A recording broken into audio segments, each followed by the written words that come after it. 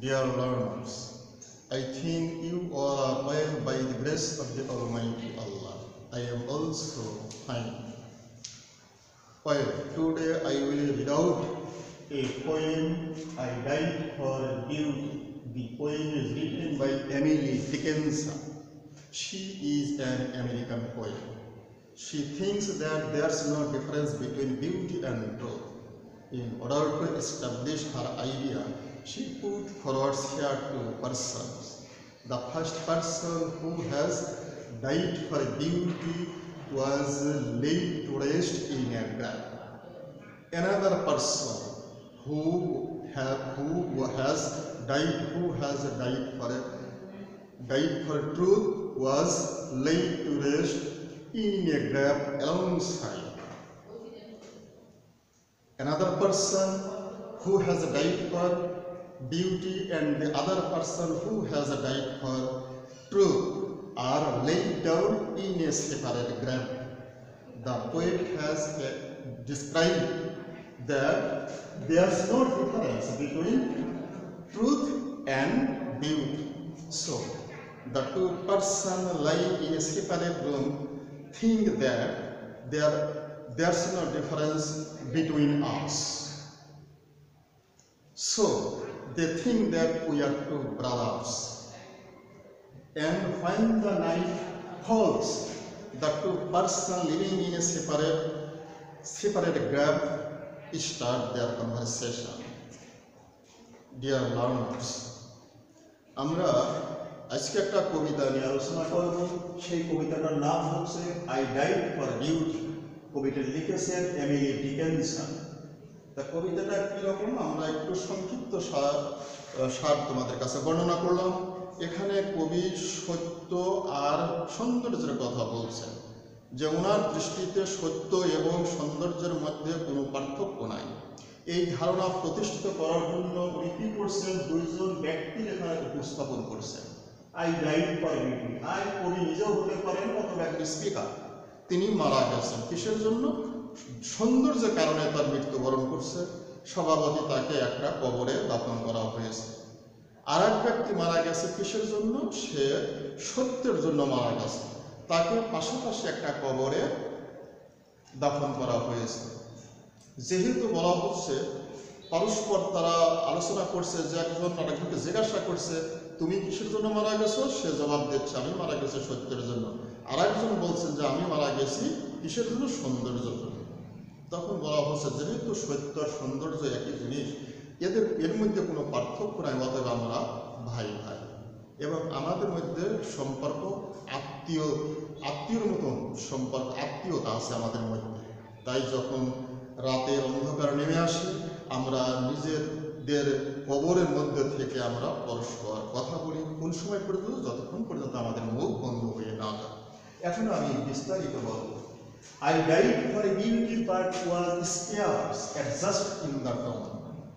When one who died for truth was laid in an adjoining room. কি বলা হচ্ছে এখানে স্পিকার বলছে আই ডাইড ফর বিউটি আমি সৌন্দর্যের জন্য মারা গিয়েছি গিয়েছি but was scarce adjusted in the tomb কিন্তু আমি সেই কবরে সামান্য আমি নিজেকে মানিয়ে নিতে পারছি ঠিক মতন আমি পরিবেশের সাথে খাপ খাওয়াইতে পারছি না। স্কেয়ার্স অ্যাডজাস্ট সামান্যতম আমি খাপ খাওয়াতে পারছি। হয় one who died for truth was lain in an adjoining room বিশেষ করে যখন আরেকজন ব্যক্তি মারা গেল, সে মারা গেছে সৌন্দর্য কিসের জন্য? সত্যের জন্য। সে পাশের আর এক রুমে যখন তাকে সাহিত্য করা হলো। তারপর স্টেঞ্জ আমরা দেখতে পাচ্ছি কি? He question softly why I fail a beauty I reply and I for truth that you are one we brethren, are he said. এখানে একজন, যেহেতু দেখো একটু আশ্চর্য কথা, মানুষ মারা যাওয়ার পর তার কোনো বাকশক্তি থাকে না। How it is possible for him after life in a grave to talk to others it is the imagination of the poet and it is the imagination of, it is the, it is the idea of a poet. She thinks that in she thinks that uh, even the after death in a living in a grave the two persons that the person uh, speaks with each other. যে কীভাবে সম্ভব? যে মৃত্যুর পরে তখন মানুষ কীভাবে কথা বলতে পারে? আমাদের দৃষ্টিকোণ থেকে একটা মানে না শুধু কবি it is only done only for the through the imagination of the poet শুধু কবির কল্পনার মধ্যে এটা সম্ভব। কবি ইচ্ছা করে অনেক কিছু করতে পারেন। কল্পনার মাধ্যমে, সেটা বাস্তবটা ভিন্ন। তাই উনি বলছে যে যে মৃত্যু হওয়ার পর এক ব্যক্তিকে কবরস্থ করা হলো, সে সে কবরে থাকার পর আরেকজনকে নিয়ে আসা হলো পাশাপাশি কবরে। তারা দুইজন কথা বলতে লাগল। কেননা তারা দুইজন একই ব্যক্তি এবং দুই ভাই এবং পরস্পর আত্মীয়। কেননা একজন মারা গেছে সত্যের জন্য একজন মারা গেছে সৌন্দর্যের জন্য। আর সত্য এবং সৌন্দর্য একই জিনিস, তাই তারা দুইজন মিলেমিশে পাশাপাশি বসবাস করে। এটা শুধু কবির কল্পনার পক্ষে সম্ভব। তাই একজন একজনের জিজ্ঞাসা করছে যে, আপু, আপনি কীভাবে মারা, কেন মারা গেলেন? তার জবাবে আমরা জানতে পারছি যে সত্য, সৌন্দর্য জন্য। আবার দ্বিতীয় ব্যক্তি বলছে যে, আমি মারা গেছি কিসের জন্য? সৌন্দর্য আর দ্বিতীয় ব্যক্তি বলছে, আমি মারা গেছি সত্যের জন্য। তাই বলছে, যেহেতু সত্য আর সৌন্দর্য একই জিনিস, তাই বলছে যে উই ব্রেন আর পিছে যে আমরা দুজন পরস্পর ভাই আমাদের মধ্যে কোনো পার্থক্য নেই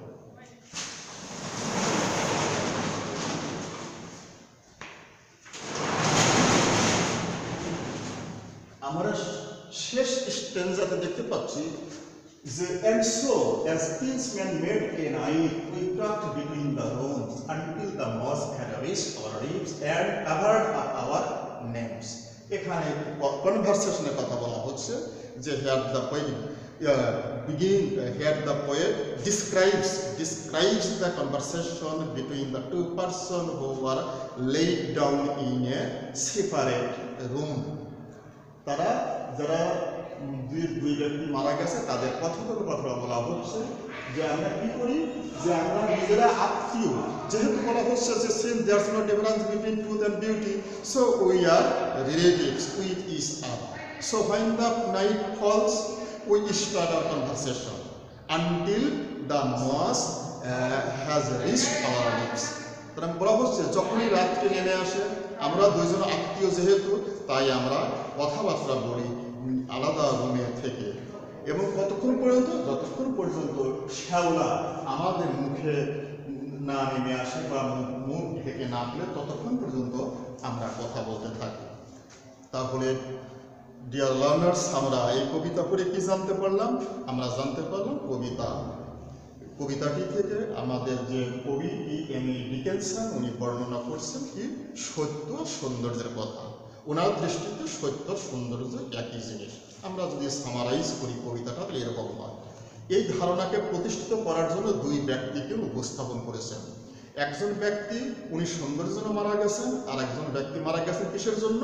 সে মারা গেছে সত্যের জন্য। দুই ব্যক্তি যেহেতু সেপারেট রুমে সেপারেট কবরে আছেন, এবং তাদের ধারণ, যে জন্য মারা গেছেন, যেহেতু সত্য আর হচ্ছে সৌন্দর্য একই জিনিস অতএব বলা হচ্ছে যে তাহলে আমরা দুইজন ভাই ভাই এবং আমাদের মধ্যে কি সম্পর্ক এবং আত্মীয়তার সম্পর্ক। এই আত্মীয়তার কারণে আমরা কি করি? যখন রাত নেমে আসে, আমরা দুইজন কি করি? কথা বলা বলি করি। সুতরাং ডিয়ার স্টুডেন্টস তোমরা যদি বিষয়বস্তুটা বুঝে থাকো, তাহলে তোমরা অবশ্যই এই কবিতাটা সামারাইজ করতে পারবে। আশা করি তোমরা বাড়িতে অবশ্যই চেষ্টা করবে কীভাবে সামারাইজ করা যায়। খোদা হাফেজ সকলেই ভালো থাকো সুস্থ থাকো।